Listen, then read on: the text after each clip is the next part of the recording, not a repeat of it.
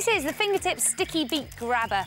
Not only does it look fantastic with its colourful beak and its long neck, but it's got a great snapping action too. And it's really easy to work. All you do is you pull up and down on this cord here, and that is what opens and closes its beak just there. How cool is that? Now, the Sticky Beak Grabber is a fun fingertips and really is just for fun. I know. I don't know who's working it either. Now, if you want to make your own sticky beak grabber, then the first thing you want to do is get your fingertips on a great punnet or any similar container with a lid. And we give the sticky beak a fingertips difficulty rating of three. So it's fairly straightforward. Now, you need to attach the lid to the base of the container with a strong bit of sticky tape at the back, like that. And you also need a large wrapping paper tube that you want to attach to the base of your container. And the easiest way to do that is make a hole in the base of the container with a pencil and then make the hole bigger so it will fit onto your tube. Then push the wrapping paper tube through that hole you've just cut, like that.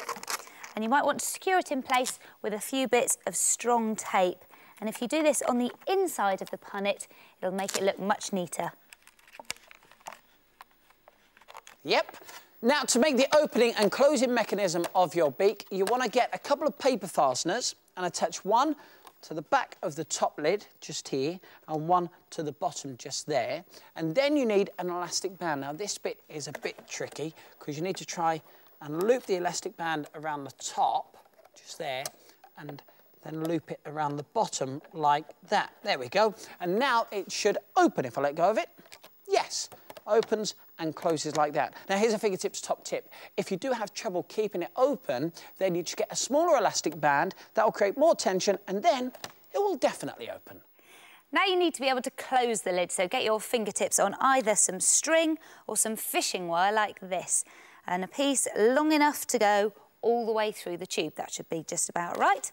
Then pierce a hole in the lid of your container using a sharp pencil. Get the end of your fishing wire and poke that through the hole, like that. And you want to stick this firmly in place with some sticky tape. Lovely. Then you want to tie something with a little bit of weight to the other end of the fishing wire. We've gone for a big safety pin and poke that through the wrapping paper tube. So then if you give it a bit of a shake, hopefully it'll eventually, there, come out the bottom. So now if you pull on the wire at the bottom, it will make the beak open and close. And finally, just tie a curtain ring around this end of the wire. It'll hold everything in place and it makes a perfect handle. And for the beak, you just attach a piece of card or foam to the bottom like that and do the same for the top and keep them in place with paper fasteners just there. Now for the head, it's really easy. Again, piece of card or foam, just attach that to the top, like that, and paint the neck.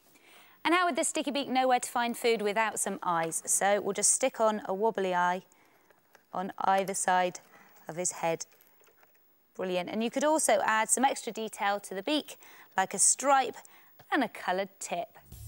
And check out this hungry giraffe. We've painted on patches and given him a floppy tongue and I'm rather flushed with success at this portable loo version, complete with its own toilet roll.